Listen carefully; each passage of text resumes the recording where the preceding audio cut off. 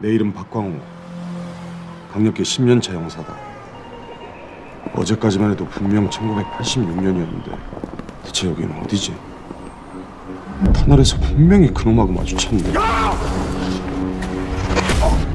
그 새끼 다 잡은 건데 대체 무슨 일이 일어난 거야? 그 새끼 여기 있는 건가?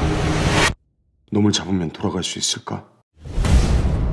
운명과 시간이 교차하는 곳 터널